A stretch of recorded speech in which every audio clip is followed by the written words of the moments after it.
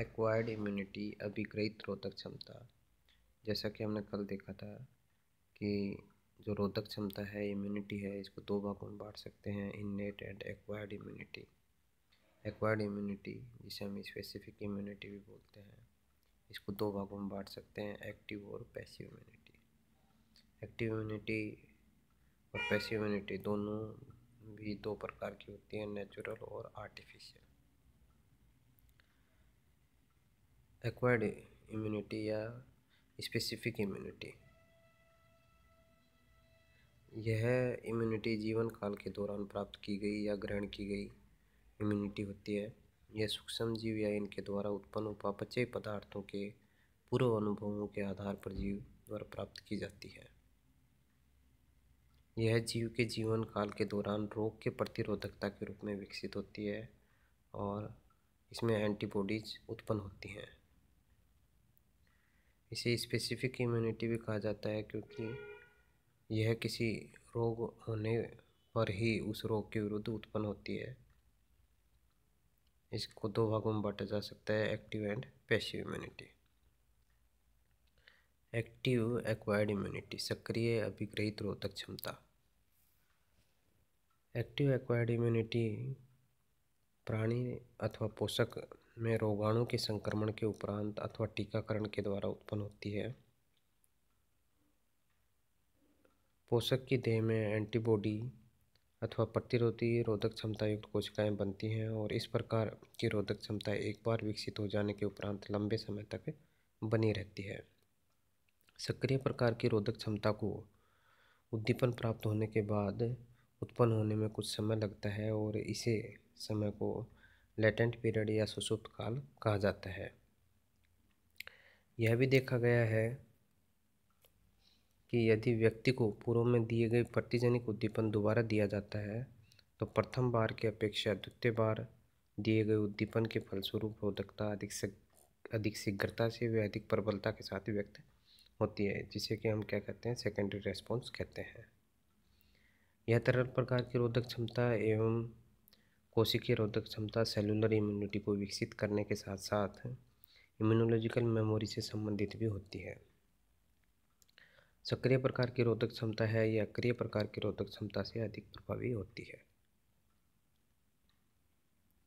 इसको दो भागों में बांट सकते हैं नेचुरल एक्टिव इम्यूनिटी और आर्टिफिशियल एक्टिव इम्यूनिटी इस प्रकार की प्रतिरक्षा प्राणी में प्रतिजन के प्राकृतिक संक्रमण के फलस्वरूप उत्पन्न होती है। उदाहरण के लिए, चेचक रोग से ठीक हो रहे व्यक्ति में प्राकृतिक सक्रिय प्रकार की प्रतिरक्षा ही उत्पन्न होती है।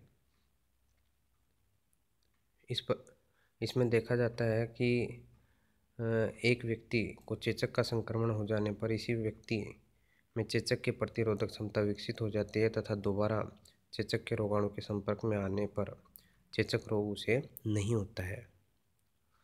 कुछ वायरस जैसे कि मम्पस और चेचक के संक्रमण के उपरांत रोगी में इनके प्रति कई बार जीवन पर्यंत तक की प्रतिरक्षा उत्पन्न हो जाती है। इसके विपरीत कुछ जीवाणुजनित रोगों, जैसे बैक्टीरियल डिसेंट्री इत्यादि में अर्जित प्रतिरक्षा छोटी अवधि की होती है।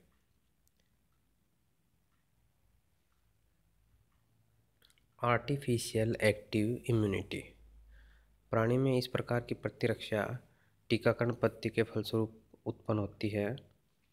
मर्त या जीवित, लेकिन एटीन्यूएटेड अथवा इनके टॉक्सोइड टॉक्सोइड्स जो हैं, उनसे टीकों का निर्माण किया जाता है।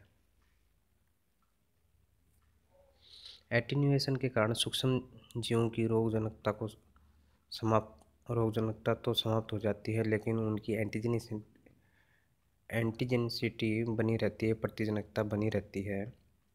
इससे टीके रोगों के संक्रमण से तो बचाते हैं, परंतु प्राणी को रोगी नहीं करते हैं। प्राणी में किसी प्रकार का रोग उत्पन्न नहीं करते हैं। जीवित एटीन्यूएटेड टीकों में एंथ्रस वैक्सीन पोलियो की सेवन वैक्सीन बीसीजी वैक्सीन आदि को सम्मिलित किया जाता है। मृत सूक्ष्म जीवियों से निर्मित टीकों में इनके जो वायरुलेंट फ़ेज़ है, उग्र जो स्वरूप है, उसमें उष्मा और एंटीसेप्टिक से इस प्रकार से नष्ट किया जाता है कि इसमें इस समस्त प्रक्रम में जो प्रतिजन को क्या रखा जाता है, सुरक्षित बनाए रखा जाता है। जीवित सूक्ष्म जीवियों से निर्मित टीके मृत सूक्ष्म जीवियों के द्वारा बनाए गए टीकों से कई अधिक प्रतिरक्षा उत्पन्न करते हैं। यही कारण है कि मृत सूक्ष्म जीवियों से टीकों के प्रयोग से प्रतिरक्षा कम समय के लिए उत्पन्न की जाती है और इसी वजह से नियमित अंतराल पर बार बार इन टीकों को लगाया जाता है।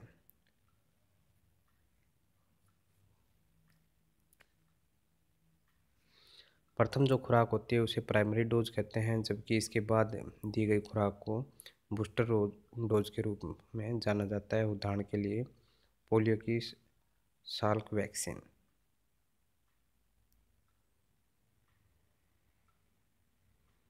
सेकंड है पैसिव इम्यूनिटी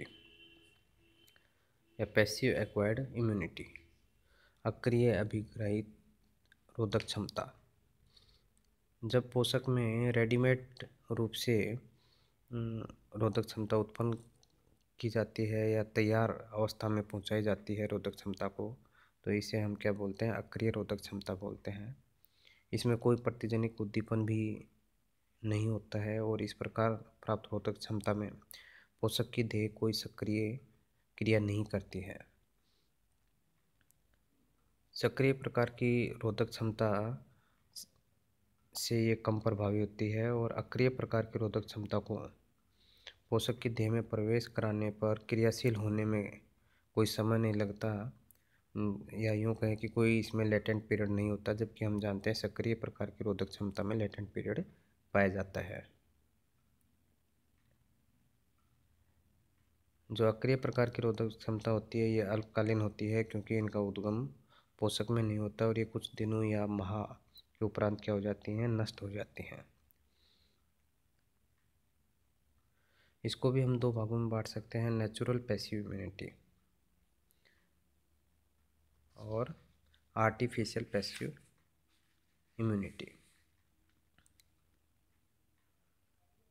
निष्क्रिय प्रतिरक्षा विशेष रूप से जो गर्भस्थ शिशु के लिए अधिक महत्वपूर्ण होती है, जो कि अपनी माता के रक्त में आ रहे प्रतिरक्षियों को प्लेसेंटा के रास्ते अवशोषित कर लेते हैं।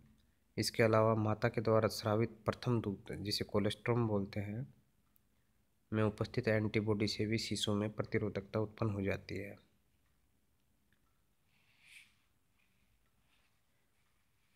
सेकंड है एक्वायर्ड पैसिव इम्यूनिटी इस प्रकार की इम्यूनिटी की बात करें तो इसमें जो रेडीमेड एंटीबॉडीज़ हैं, वो क्या किए जाते हैं? बॉडी के अंदर इंजेक्ट करवाए जाते हैं।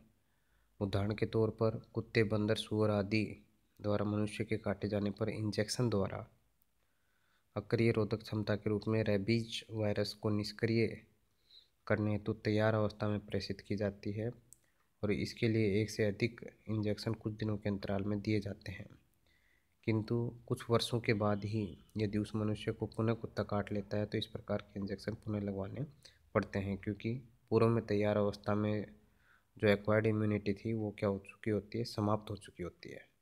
इस प्रकार की क्रिया टेटनस के जीवाणु के प्रति रक्षा हेतु भी की जाती है और इसके उपचार हेतु रोगी को एंटी टेटनस सीरम एटीएस के इंजेक्शन दिए जाते हैं।